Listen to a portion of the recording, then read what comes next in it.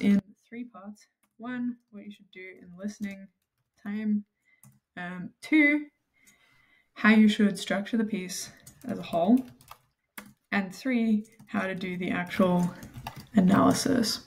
So when it comes to listening time, what they're doing is they're giving people a transcript of the piece and then they're letting people listen to the uh, the piece twice. So generally, what people have is um, one listen, two minute break, um, second listen, and then like a one to two minute break, and then writing time starts. So it's good to kind of use this time as well as you can because you only get listening time once, well, twice, but you can't go back and listen to it again once you start the actual writing time like you can with a standard argument analysis. When it comes to the analysis itself, there are a couple of main techniques that you want to be looking out for in the piece. So, one is stress or emphasis. This is probably the most obvious one, just whenever someone puts stress on what they're saying. Volume, people getting louder uh, often, but sometimes getting softer as well. Pace or tempo, are they speaking quickly or slowly? Pitch, some people also call this intonation. Generally, this only really applies at the end of sentences. Does it go up or does it go down? Pause. So, do they have a break after they say something important? And then tone or voice. This one's really important as well, probably as important as stress or emphasis, because this is the bit where you can get really specific and gather a lot of bonus points for yourself if you can pick out things that other people aren't noticing. There are a couple of other bonus techniques as well that it's good to have up your sleeve. So, uh, rhythm. Honestly, I don't bother including it as a main technique anymore because it barely ever turns up. Occasionally, if someone speaks in a particularly staccato way, that can help show emphasis or like a sense of rigidity or structure can kind of give that to the piece. But otherwise, I wouldn't bother mentioning it. Thing is background noise or sound effects. So, for example, like an audience reaction, laughter, silence, something like that. Um, and also, sometimes people occasionally get educational videos or videos that have been quite highly edited. So, talking about the diegetic versus non diegetic sound is another thing you can do. But we want to focus on these six main things. So, I tend to find in the listening time, I really struggle to think about more than like one thing, honestly, per listen. Um, but because you have only two listens, you can't be only listening out for two techniques the whole time. So I do find generally you can sort of manage three or so at a time. What I would probably do is the first time I listen through to the piece, I would try and listen for three of these techniques. It depends a little bit on the piece. Just go for the three that are sort of the most obvious. Generally, that ends up being stress, uh, pitch, and tone. These are probably the most important ones, so it's good to get them out of the way. And then on your second listen, you can listen to whatever you missed the first time. So if you had heaps of this, but you didn't have much about volume, for example, you'd listen to that. You'd also listen out for pace and you'd listen out for pause as well. Another thing that's really good to do on your second listen is look for any visual cues as well. So this is particularly important if you've been given like a newsreel or something and your teachers really want you to pull out visual techniques. Um, if that's the case, there are three or four main things I would analyze.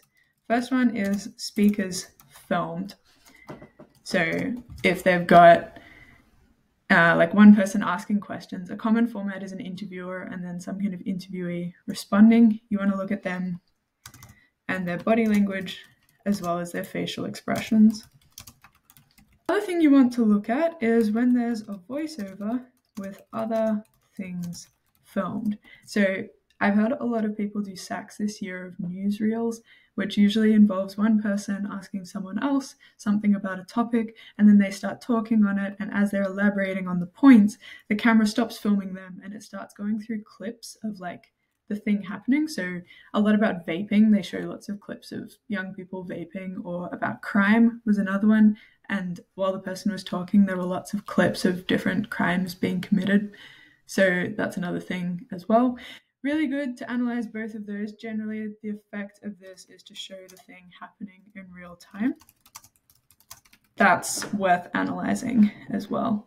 Two other things which often turn up and which it's good to mention if you can, are special effects or noticeable editing, and also graphs, images, or other visual aids. Often these are paired with statistics, so it's good to analyze how those work in conjunction. So, this is how I would split up my listening time. I would listen for these things first, and I would listen for these things second, and that's when I would also pull out maybe two or three visual elements as well. In my two minute break here, I would mostly be consolidating notes I took from the first listen, and I would also look through and try and consider what are some key general written techniques that it might be worth analyzing as well. In the one to two minute break here, you just want to jot down anything that you remember from the second time but that you didn't have time to write.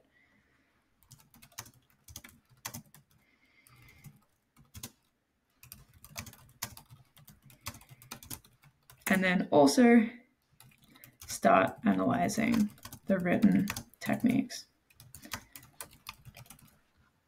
Okay, so hopefully once you've gone through your two lessons, if you followed this process, you should have all the audiovisual techniques you need. So the next thing you have to do is work out the structure, how you should actually write your piece. Ideally, you want to go into the SAC already knowing how you're going to structure it. Generally, this differs by school. I know of two schools that got their students to write an entire argument analysis. So they gave them 60 minutes, they made them write an introduction, three bodies, and a conclusion. And the piece they had to listen to was sort of four to six minutes long. It was like a standard sort of one and a half page piece, which they had to analyze. So um, you might get that. So if you do get the full 60 minutes, I would recommend intro, three body paragraphs, and a conclusion. However, the absolute majority of school, probably 80%, have gotten their students to write only one body paragraph. Um, sometimes the intro is optional. So, like some schools want an intro, other schools don't. Most schools want at least one body paragraph, however. So if this is the case, you've probably only been given 15 or 20 minutes writing time, but that's all you should really need because that's what you have per body paragraph for a 60 minute piece anyway. So I would be aiming just to stick to like standard 15 to 20 minutes for a body paragraph. Okay, any questions? Audio visual analysis. We went over most of how I would analyze these different techniques already. So I might just paste in the notes for those, but I won't go over it in detail. Basically, all of them do the same thing, which is to add emphasis to what the author or the speaker is saying. So, most of these things, people only put stress or emphasis on the most important parts of their speech and the things that they want people to remember anyway. So, you won't put stress on random words like conjunctions, for example, um, unless you're using lots of conjunctions to make a point about the magnitude of an issue and all the different things, for example, that are affected. By and large, you'd increase your volume when you're going through, when you're going over something that's got like a lot of emotional appeal. You would add stress to something like a statistic. You would also speed up if you want to add a sense of passion to a piece as well. One thing where the analysis does kind of change a little bit is pitch or intonation. So I only analyze this at the end of sentences. So if someone's asking a question, their pitch goes up at the end, and I would analyze that as them genuinely trying to engage with the audience, get a response, get people to actually think about it. On the other hand, and there was a really good audiovisual practice he did with a couple of people a few weeks ago. Um, this lady asked a series of two rhetorical questions. And the first one, her pitch went up at the end because she was genuinely trying to get her audience to think about it. But then in her second rhetorical question, her pitch actually went down. And the reason why was she wasn't actually asking a rhetorical question, she, she was answering her previous question with what the solution should be. So that was something that you would not get from the written piece alone, but which the audio really added to the experience. So I would think about this particularly with questions. And also, if you're running out of things to say, generally at the end of a body paragraph, the pitch drops down. So it gives you can just talk about how they're trying to add certainty or seriousness to their point. So that's a good one to keep in your back pocket. Pause often follows shocking, shocking statistics, any attempts to add drama, anything like that. So that's all the key techniques. Um, what we will go over in a little bit more detail, however, is the actual structure that you should be using for your body paragraphs, which I'll paste in here. So, actually be doing this analysis. What you want is a standard body paragraph structure to start for argument analysis. So, a topic sentence which is focused on the main argument of the part, maybe a short contextualizing sentence, adding a little bit of context. What are we talking about? If you're doing just a one paragraph SAC, you might want your topic sentence not to be what is the main argument of this part, but just what is the contention generally. And then for the analysis, we're going to modify what we usually do. So instead of just doing device, quote, and then audience effect, we're also going to add what is the audio technique? How does it amplify what they're saying? And what is the effect of that amplification? So, how does it add to what we have?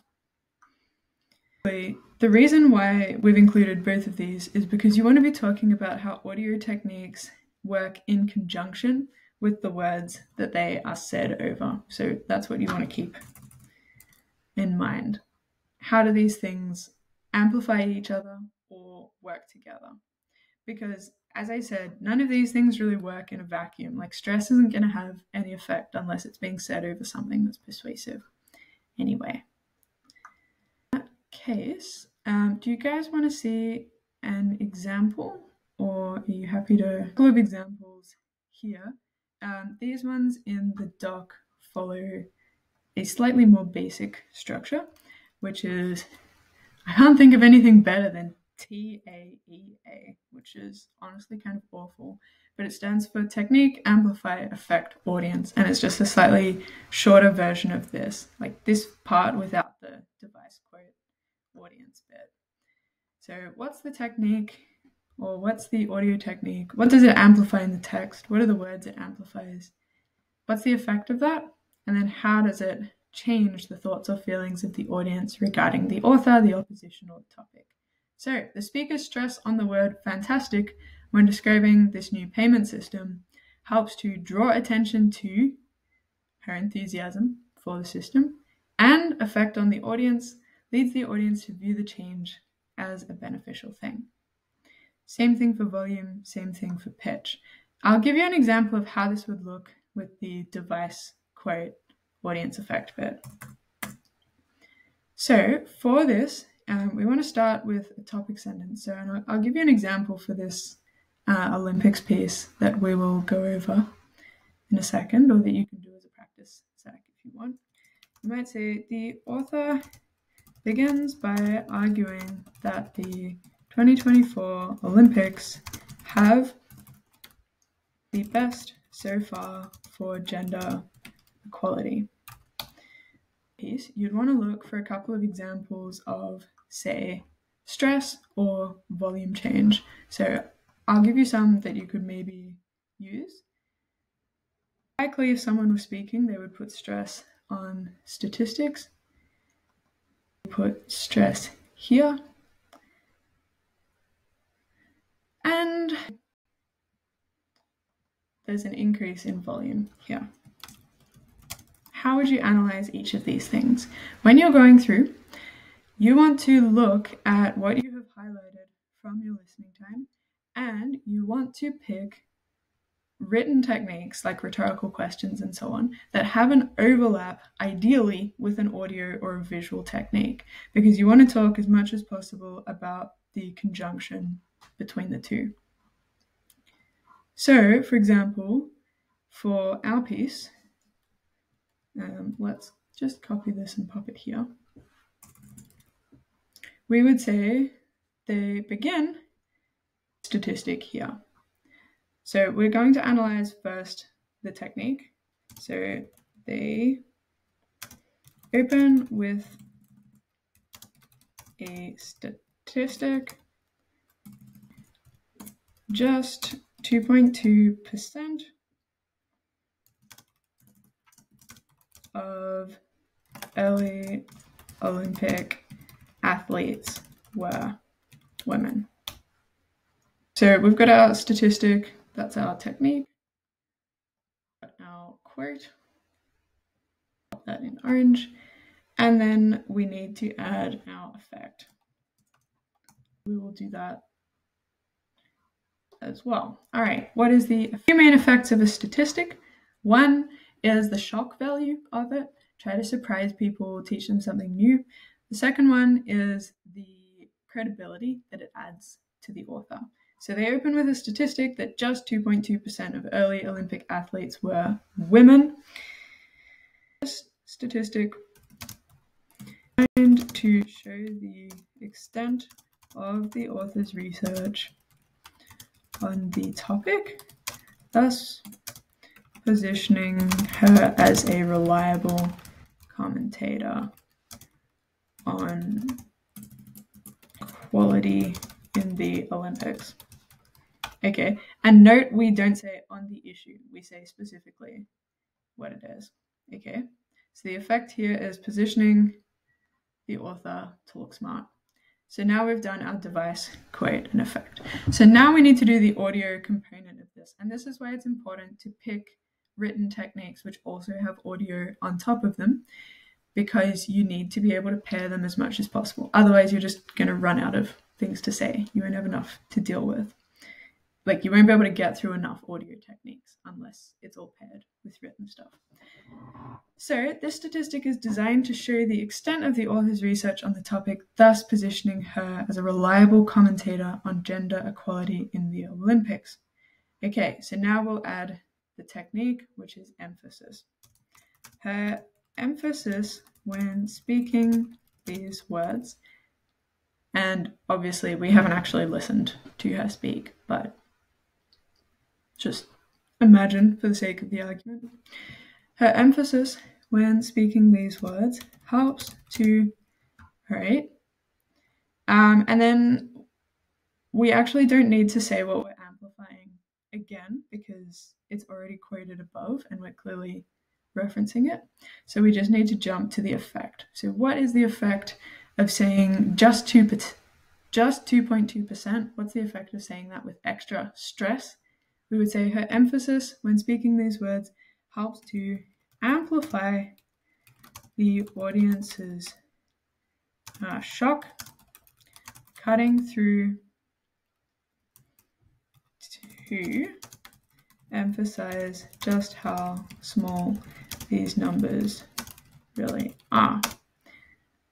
And then if you wanted, you could add something a little bit more specific or extensive about how this positions the Olympics more generally. Okay,